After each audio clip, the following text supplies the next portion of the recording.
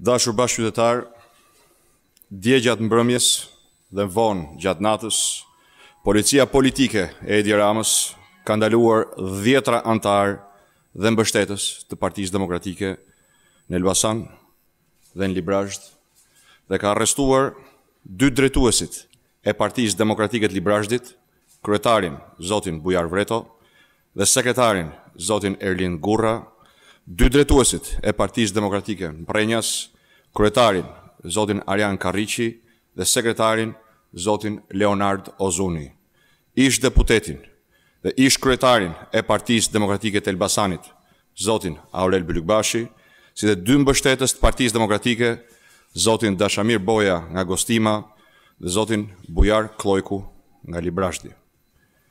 Këto veprime janë raprezalje të hapura politike ndaj kundërshtarëve politikë dhe qytetarëve që protestojnë kundër regjimit të Edi Ramës. Ato vijnë pas ndalimit të afro pesëqind anëtarëve dhe mbështetësve të Partisë Demokratike gjatë pesë muajve të fundit. Ndërkohë, mbi pesëdhjetë mbështetës dhe anëtarë të Partisë Demokratike mbahen paligjshmërisht në arrest në burgje.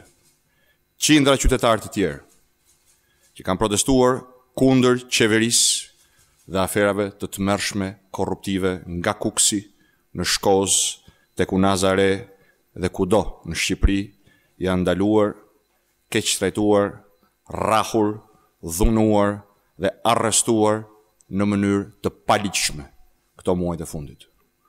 Ky është bilanc regjimesh represive dhe jo i një vendi demokratik europian. Ndërkohë, sistemi i drejtësisë është shpartalluar. Parlamenti është shpartalluar, administrata publike është militantizuar në ekstrem.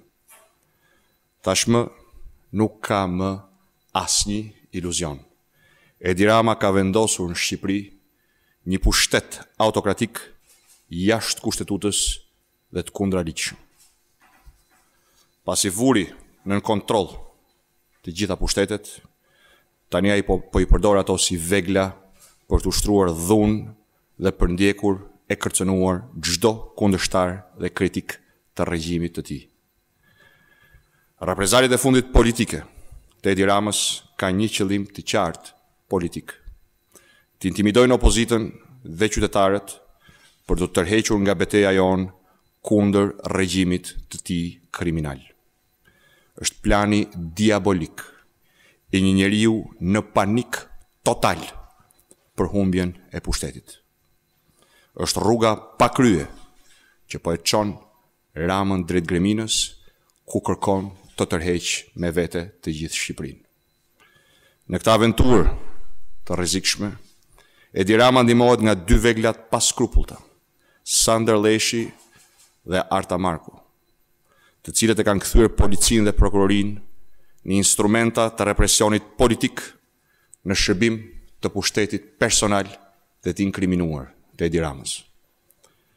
Ju bëj thirrje policëve dhe prokurorëve që e ndjejnë veten njerëz të ligjit dhe të rendit, të mos u binden urdhrave politikë dhe të paligjshëm të autokratit të korruptuar dhe të inkriminuar Edi Rama dhe të veglave të tij.